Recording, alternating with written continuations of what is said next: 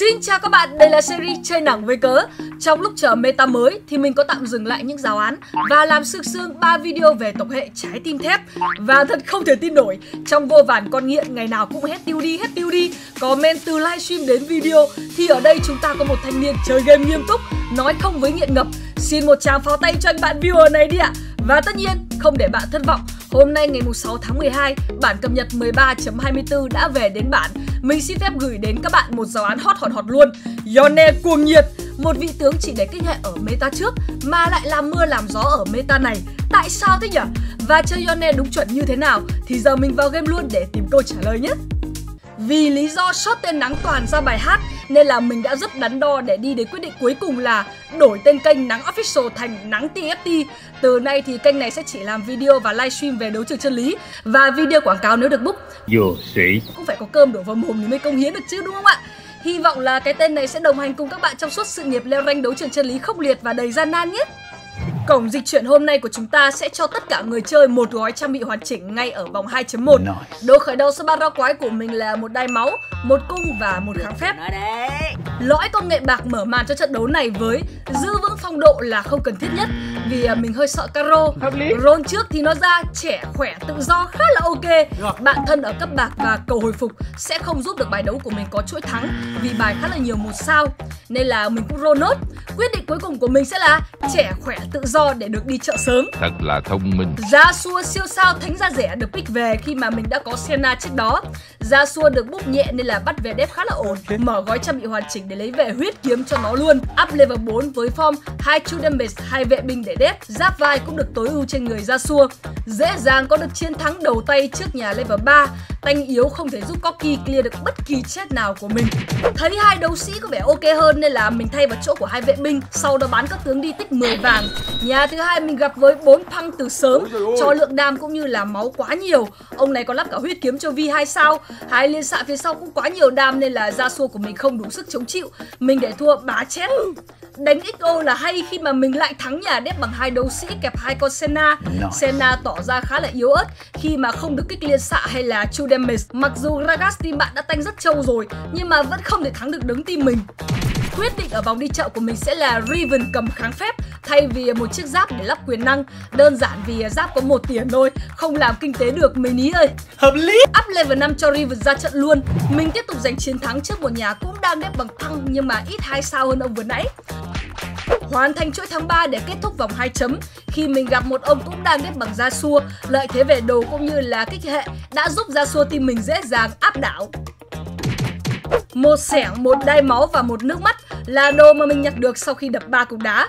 Trời ơi, chơi Yone mà nó cứ ra đồ như này là muốn mình lắp ấn steel đúng không? Bài Yone này thì không cần xẻng cho lắm, nhưng mà game cho thì ờ, phải đánh thôi đấy. Hai con đấu sĩ tự lên 2 sao ở vòng 3.1 Dây chuyền được lắp luôn cho Tam Ken để giảm sát thương Mình gặp nhà này chắc là định chơi bạc Tanh hơi yếu nên ra xua mình chém hết Tiếp tục là một chiếc lõi công nghệ bạc ở vòng 3.2 Đồng lòng đấu tranh sẽ được loại ra đầu tiên Vì chiếc lõi này ít được tin dùng ở mùa 10 Roll thì nó ra đạt tới đỉnh cao. Lõi này thì vừa được búp đây nhưng mà Mình đang muốn làm giáo án Yone nên là sẽ bỏ qua. Bán thăng hoa cũng sẽ ổn nếu như mà mình đánh một bài đấu đam theo thời gian hơn là bài cuồng nhiệt. Xây dựng đội hình sẽ là ok nhất, đảm bảo được là mình có thể lên Yone 3 sao nên là mình chọn luôn. Up level 6 để cho thêm một Senna vào sân. Gặp ngay một ông chơi Hustil với Afe 3 đồ. Liên tục ném vào đầu lần lượt các tướng tanh team mình Sau đó đến Yone mà không thể phản kháng. Mình chính thức tắt nắng. Gặp lại cái ông đép bằng Corky giờ đã update tanh với bốn vệ binh hai tay to phía sau tha hổ gây đam mà không sợ bị đụng tới. Mình uh, tiếp tục thua ở round này nhé Đi chợ thấy Z cầm găng ngon quá Nên là mình bú vội luôn chứ chưa cần lấy đồ. Tiếp tục thua đẹp một chết trước nhà có con Gragas 3 đồ ở đầu game Để tích thêm tiền. Nhà đang cháy 100 máu vẫn cứ update 2 sao Mà còn có cả hướng tới hồi kết Thế này thì uh, game này có vẻ hơi khó để top 1 rồi. Ông này đấm mình 5 chết cho cẩn thận. Số máu còn lại là 61 Bán luôn ra xua siêu sao ngay ở round sói để up level 7 Chuẩn bị thay máu đội hình. Một nước mắt và một giáp là đồ mà mình nhặt được sau khi đánh năm con sói hư hỏng này. Xả tiền với 66 vàng để tìm kiếm siêu sao Yone Nhưng mà nó lại ra siêu sao Riven Mình bỏ qua luôn không xoay bài và ép cho bằng được siêu sao Yone. Roll số 10 tiền và game không cho một con Yone nào chứ đừng nói là Yone siêu sao. Cái Huyết kiếm, quyền năng và bàn tay được lắp sẵn cho tạm Olaf. Gặp nhà chơi ya bằng bạc đã 3 sao. Mình để thua tiếp, nâng chuỗi thua lên con số 5, bán lại các thứ trên hàng chờ đi để tích 30 tiền. Lõi công nghệ vàng chốt sổ với những người bạn nhỏ được loại trước vì nó không liên quan đến bài đấu của mình. Thuật sư thiện chiến cũng loại nốt vì không liên quan luôn. Tay chơi păng cũng để dành cho bài đấu Pentakill chứ không phải là bài cuồng nhiệt. Roll cả ba thì thấy có, không phải hôm nay và độc dược sĩ đều là hai cái lõi đánh nhau ngon cho bài đấu này. Phân vân một hồi thì mình quyết định chọn không phải hôm nay vì có thể cho thêm đồ để mình đánh bằng hai carry là Yone và Z. Roll tiếp với 41 vàng nhưng mà chỉ một lần roll thì em nó cũng đã xuất hiện Yone siêu sao cuồng nhiệt và thêm một em Yone trong cửa hàng nữa. Roll tiếp hai nháy thì ra luôn Viego để đủ form ở 7 với 4 cuồng nhiệt, 3 pentakill, 3 thánh da rẻ và hai vệ binh. Đồ đam với áo choàng, huyết kiếm quyền năng cho Yone, đồ tanh cho Modder và bàn tay cho Z. Gặp nhà Hustil lên 8 chưa roll, ông này muốn lên 10 nên là chiến thắng đầu tiên có lại cho nắng khá là dễ dàng. Bán tướng đi để tích 20 tiền tiếp tục bán luôn Yorick để tích 30 tiền ở round sau. Mình check bài thấy tạm ổn rồi nên là chưa roll vội, mà đép thêm vài round cho giàu rồi xả tiền. Vì à, chỉ có một ông chơi chung thôi, mà ông ý cạn tiền rồi nên là không sợ. Gặp luôn cái ông mà mình vừa nói là chơi chung để đấm ông này full house, cho ông ý à, ra làm trận mới sớm, trả lại Yone cho mình. Nhặt kiếm ở vòng đi chợ để tí nữa ra áo choàng bóng tối cho Z khá là ok hoặc ít nhất là mình sẽ lắp ấn true damage nếu mà cần thiết. ra gì đấy? Đi chợ về thì Z ra thêm một con. Roll thử mấy nháy xem là có cầu không. Thì nó không ra thêm con Jonen nào hay là Z2 Mình dừng lại ở 30 tiền và tiếp tục eco. Gặp một ông cũng đang đép lên 9 đánh Exodia. Đồ ông này thì nhiều đấy nhưng mà tướng cầm đồ thì lại không được mapping cho lắm. Yone của mình thể hiện sức mạnh với việc chém chết Garen Và luồn ra sau chém hết dàn sau một cách dễ dàng Khá là may mắn khi mà mình gặp một ông đang cháy ngược 100 máu từ nãy đến giờ chưa lên 9 Mình có lại được chiến thắng để cháy lần thứ hai trong trận đấu này. Hai gậy và một kho rèn nhỏ sau khi săn nốt bãi chim. Mình mở kho rèn nhỏ ra không thấy cái giáp nào Nên quyết định của mình sẽ là lấy găng để lắp giáp, à lắp kháng cho Z. Hơi dở một xíu là lấy lõi không phải hôm nay nhưng mà lại chỉ tối ưu được một chiếc áo choàng thôi Xả tiền từ 71 xuống còn 30 Mình chỉ bắt thêm được một Yone và một Viego Chứ không lên hai sao thêm được con nào cả tiếp tục thắng trước nhà SU, Ông này đánh Hustil roll đến 8 con SU rồi. Mình đấm ông này một round để không cho ông này lên SU 3. Tiếp tục xả cạn tiền thì Z và Viego đều lên hai sao cùng một lúc. Cạn hẳn tiền thì Yone thứ bảy cũng xuất hiện. Z ra khá nhiều nhưng mà hơi tiếc là mình không thể roll 3 sao vì hơi nghèo. Mình dùng Nico à nhầm, mình dùng Neko để lâng Yone lên 3 sao Gặp bài đấu bạc ra Yone của mình uh, giết chết Lilia. Kennen sau đó với thánh da rẻ dễ dàng tiếp cận dàn sau và xử nốt hai carry team địch một cách nhanh chóng. Chiến thắng thứ 6 cho nắng. Win dễ dàng trước một nhà Exodia level 10 khá nhiều năm vàng 2 sao. Ông này xếp ở góc trái. Đồng thời Quiana team ông đó báo quá báo Cũng tạo điều kiện cho Yone team mình tiếp cận dàn sau Nhanh hơn với một cú hất tung. Yone tiến ra sau được thì chém Sona với Lucian như chém chuối. Yorick gọi đệ ra cũng không giải quyết được vấn đề gì. Khi mà sức hồi phục của Yone là quá mạnh mình tiếp tục có được chiến thắng thứ bảy.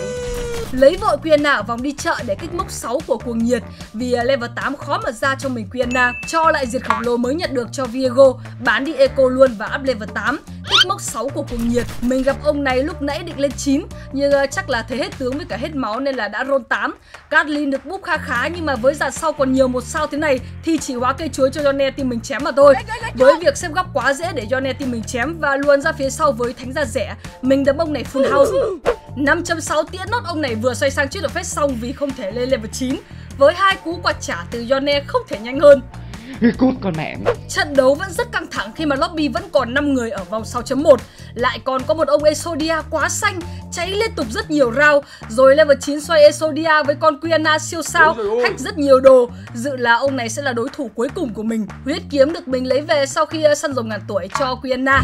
Vừa nói xong thì mình gặp luôn cái bóng của ông này. Quiana của ông ý ra quá sớm nên hack khá là nhiều đồ tanh Đám trước, đám sau tanh đều có đủ Zix ném quả bom nổ ra rất nhiều mảnh Đã cắt đi chuỗi thắng của mình Top 3 cũng đã có chủ sau vòng 6.1 6.2 mình tiễn nốt nhà Exodia level 10 để thể hiện sức mạnh của Yone. Combat diễn ra mặc dù Yone của mình bị hất tung từ Quiana team bạn nhưng sau đó vẫn là những cú chém liên hoàn khiến cho cả tanh cả đam của ông này không thể đỡ được. Chiến thắng này đã giúp mình giành lấy cái top 2. Biết không ạ? Mắc update và không thể lên 2 sao thêm bất kỳ tướng nào. Mình để thua tiếp nhà Exodia với con Quiana quá kinh khủng. Round nào nó cũng hack ít nhất một đồ nhỏ. Zihin của ông này cũng update 2 sao nên là mình không thể đánh lại được. Giành dích ở vòng đi chợ để hạn chế bớt sức mạnh của đối thủ Mặc dù biết là kiểu gì mình cũng thua, trước sức mạnh của đội hình quá nhiều đồ như vậy, Up nốt level 9 thêm vệ binh để đánh thử với ông này ở vòng 6.5 Tranh lệch đã được ông này kéo dài qua mỗi round nên mình nghĩ là dù Ron update được Quiana 2 sao thì vẫn không thể thắng được Ngậm ngùi dừng chân ở top 2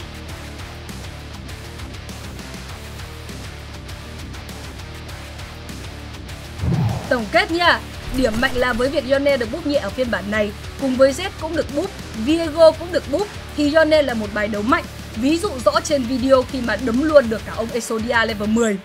Đồ của Yone bao gồm huyết kiếm để đảm bảo lượng hồi phục cũng như là chống chịu cho nó vì đứng hàng trên, có thể thay bằng bàn tay tùy tình huống. Quyền năng sẽ giúp vị tướng này trâu hơn một xíu, vì là tướng cận chiến mà, yên tâm nó cũng sẽ giúp thêm đam. Khăn hoặc áo choàng bóng tối sẽ đảm bảo việc vị tướng này được chơi thoải mái ở hàng trên. Nếu có lõi hoặc là đồ kháng hiệu ứng thì càng tốt. Mình có thể lắp thêm một đồ đam cho nó như là cung xanh hoặc là vô cực. Đồ thừa sẽ ưu tiên cho Z, sau đó là Viego. Về xếp bài thì nên xếp Yone ở góc để anh chàng này có cơ hội luồn ra phía sau một cách dễ dàng hơn với tộc hệ thánh gia rẻ, sau đó solo kill với carry team địch. Reroll ở level 7 là hợp lý. Nếu có các lõi công nghệ giúp Yone 3 sớm thì càng tốt, nên có một lõi đánh nhau để Yone có thể thể hiện được bản thân. Có thể đánh form đi lên từ Hustile để nhận thêm lượng vàng cũng như là trang bị, sau đó xoay dần sang Yone. Về điểm yếu thì Hustle được búp khá là nhiều trong meta này, nên nếu mà có nhiều nhà chơi thì Yone sẽ khó mà lên được 3 sao. Yone có tận 3 tục hệ nên là để ép ra siêu sao Yone cuồng nhiệt thì bạn sẽ cần phải làm kinh tế một cách tốt nhất. Không có Quiena để kích mốc 6 cuồng nhiệt thì tỷ lệ top 1 khá là thấp, mặc dù thì vào top vẫn ổn đấy. Cảm ơn các bạn đã xem hết video và like cho mình. Chúc bạn leo rank meta mới vui vẻ. Bye bye!